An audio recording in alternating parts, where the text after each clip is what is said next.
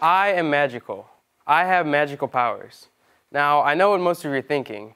And no, I can't see through walls, I can't lift a car with one arm, and most importantly, I can't fly.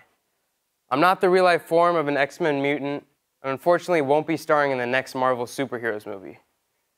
But I'm still magical because I can change someone else's life and make myself happy in an instant. I am a magician, and my magical power is that I can bring people together and create happiness and joy in a room in a matter of seconds with simple, everyday objects.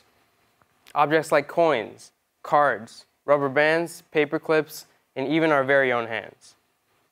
I was first introduced to magic about 10 years ago when my family and I were visiting our cousins in Atlanta for Christmas. One day, my cousin called me over and said he wanted to show me a card trick.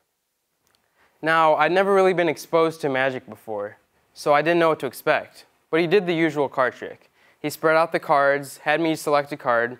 This time I selected the Jack of Clubs. I gave him the card back, he shuffled the deck, and through some complicated method, he placed one card face down on the table.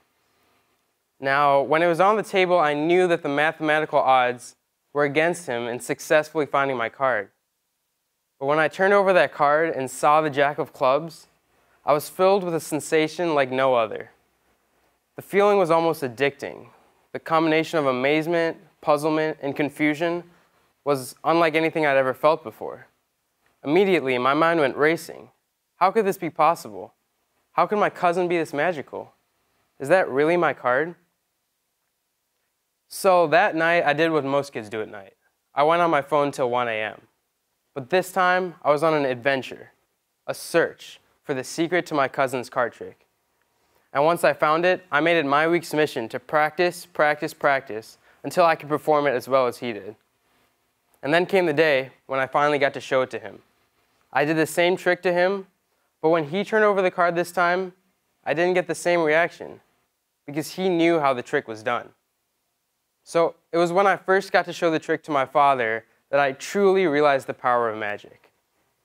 When he turned over the card, I could see the exact same sensation that I had felt previously running through his mind. And it was at that moment that I realized that if I could share this feeling with the world through my magic, I would be the happiest person.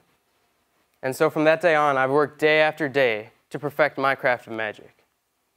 Now, what keeps me going with magic is the people that I get to meet and the reactions that I get. Now, reactions come on a wide spectrum. There are those who will sit and watch the card trick and say, wow, how amazing, that was unbelievable. And believe it or not, that's the calm end of the spectrum. On the other side, there are those who will see the trick and then sprint out of the room screaming in awe.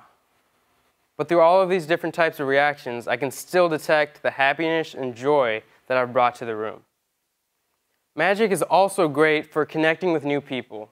It's great as an icebreaker to talk to people that you'd, you'd never have met before or even people from a different generation. For instance, about seven years ago, my family threw a birthday celebration for my aunt. Before the party, my mom told me to bring a deck of cards in case I got bored. And sure enough, I got bored. So I started going up to random people at the party asking if they wanted to see a card trick. Now, remember, I'm only about seven or eight years old. So I knew exactly what they were thinking when I asked them if they wanted to see a card trick. They were thinking, oh, here's this little boy that probably got a magic set for Christmas or for his birthday, and he just wants to show us, he just wants to show us a trick. Really low expectations. But when I showed them the trick, they were absolutely astonished.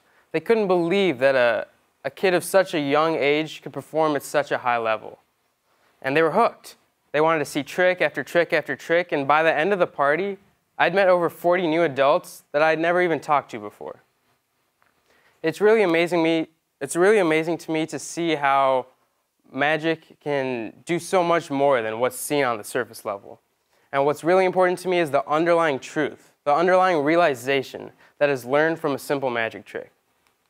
Our whole world, our whole lives are governed by rules. Rules and laws. Laws of physics, laws of chemistry, laws of science, laws of math. Laws that we simply cannot see past.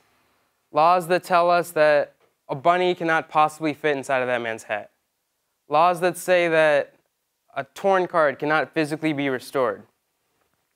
But we magicians, we break those laws. And even though the audience may know that what they're seeing is a trick, they can't get past the, the fact that what they're seeing right in front of their eyes is breaking the laws. And so magic is proof that if there's something impossible, it can be achieved. If you have a goal and it's unattainable, magic is proof that you can achieve that goal. Just like I can achieve the goal of moving a coin from my fingertips to your pocket. Just like the goal of placing a man on the moon was achieved.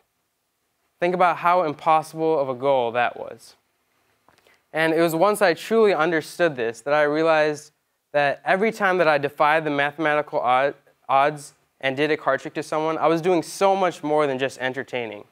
But I was sharing and empowering others with the message that the impossible truly is possible. Thank you.